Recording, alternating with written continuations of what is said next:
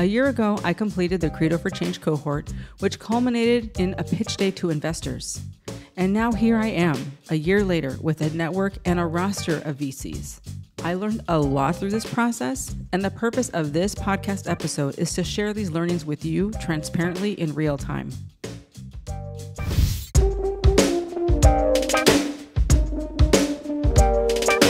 Welcome to the Nopalera podcast, a place where I share the journey of building my company from the ground up, as well as the stories of others in our community. I am your host, Sandra Velasquez, founder of Nopalera, a culture forward brand that celebrates and elevates culture. Aside from making great products, we are cultural storytellers with a mission to inspire our community to stand in their worth. In this podcast, you will hear a mix of solo and guest episodes around the entrepreneurial realities of building a company. I launched Nopalera from my Brooklyn apartment with no outside funding while working three jobs, raising my child in the middle of the pandemic at the age of 44. Thank you for joining me on this journey. I hope it inspires you to live boldly.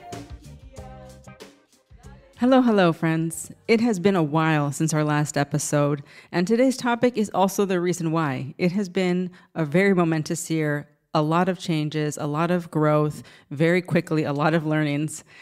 So, two months ago, I closed our oversubscribed 2.7 million seed round. It was one of the hardest things I've done since launching Nopalera.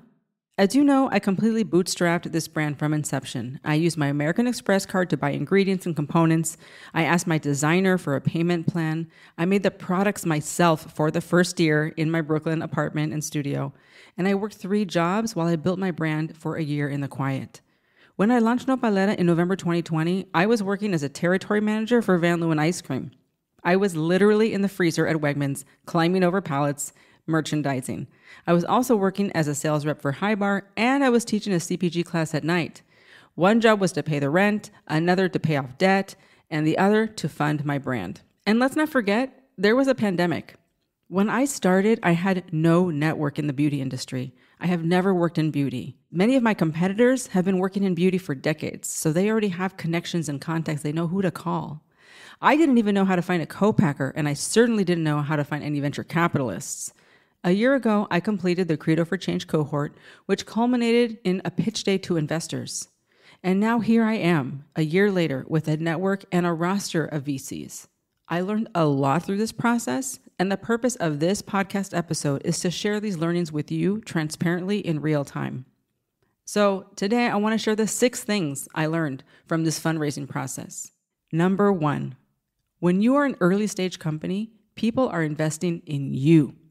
You will need to define clearly why you are the badass CEO that can build and lead a team to the finish line. You need to exude confidence. If you are feeling unworthy, small, and insecure, desperate, you will repel money. So I am fortunate to have over 15 years of experience under my belt being a band leader. I have played for thousands on stage as well as to four people and had to bring the same full energy every time, regardless. I have been rejected by hundreds of clubs and talent buyers, but I kept going. You will never build your confidence muscle if you quit. And side note, this does not mean that you will not get nervous or feel like you're going to throw up before you pitch or go on stage. I still get nervous. But number two, rich people know other rich people. So you have to ask for introductions. A year ago, I knew exactly zero venture capitalists or people with money. If you are asking yourself, how do I even meet VCs? I feel you, that was me. And now I have a list. How? Because I met one, and then they introduced me to two, etc. I created a Twitter account to start following VCs. Many of them are on Twitter. They're also on LinkedIn. Follow them. See what they're talking about. See who they're talking to. The platform will recommend others to follow once you follow one. So follow them. And let me say this another way don't sit around waiting for someone to find you. They will not.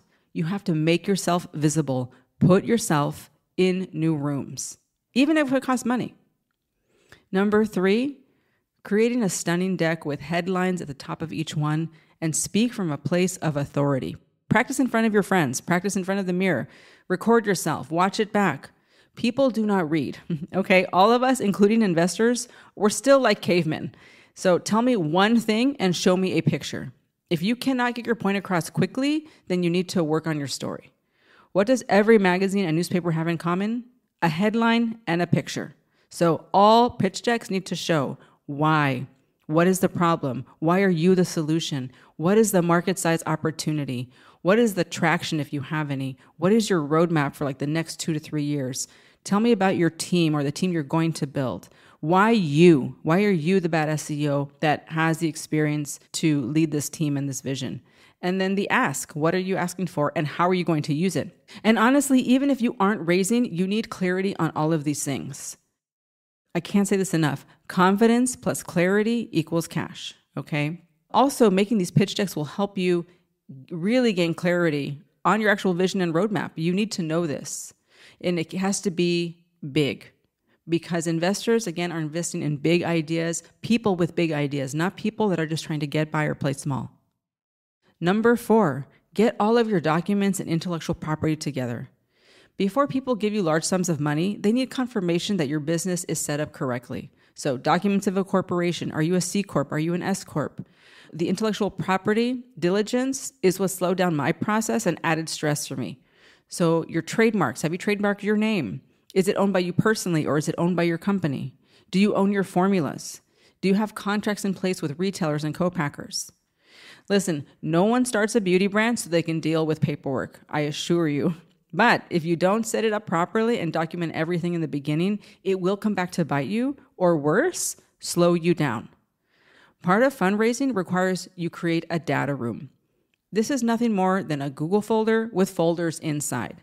So think of it like a master folder that has, let's say, 10 folders. One of them is brand, then there's sales, then there's financials, then there's intellectual property, there's roadmap, there's, you know, traction, there's press. So all of these things are filed so that people can go and find things quickly for anything that they want to understand about your business.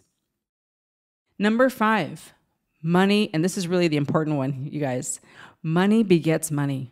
I already knew this intellectually, but I really experienced it firsthand going through this process. When I first started my fundraise, many investors told me things like, oh, well, we don't want to be the first 500K. Essentially, nobody wants to be first on the dance floor.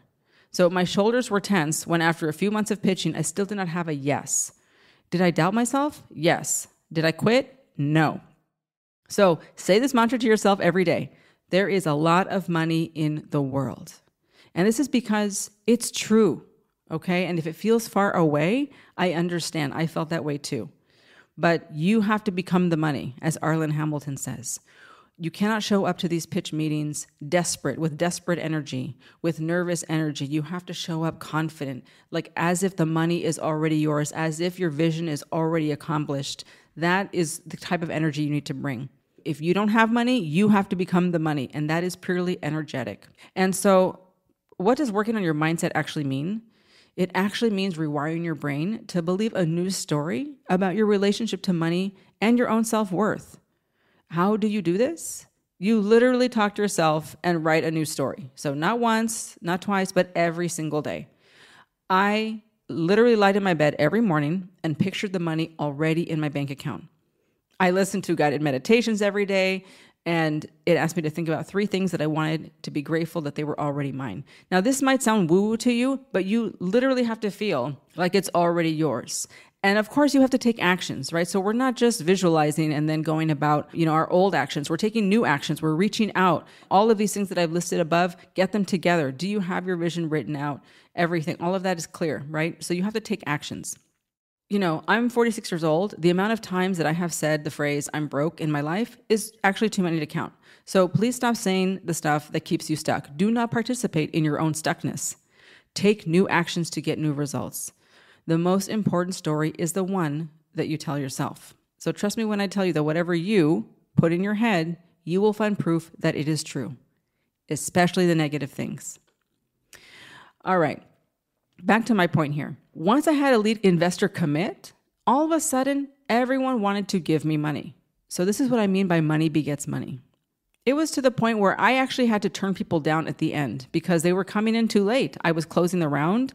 I wanted to close it. I need to move on and start building the team. So I had to actually tell people no at the end. But once you have money, people want to give you more money.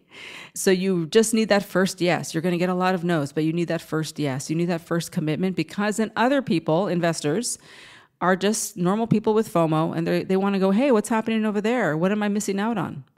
It was wild. Literally weeks before, I was desperate for money and now I was turning it down. So this is how I set out to raise 2 million but ended up with 2.7. Money begets money. And number 6, this is something that one of my lawyers told me. Money is cheap, it runs out, then what? So what she meant was is that when you are going to take on outside investors, they need to be bringing something else to the table besides their checkbook. Because reminder, there's plenty of money in the world, not all of it is good. So ask for resources. What do you want out of your investors aside from the check? You know, network, what expertise, what connections, relationships do they have that they can bring to the table to help you scale, to put that money to good use? So when people ask me why I didn't raise through crowdfunding, the answer is network. I want investors who have a network and resources to help us grow, not just the money.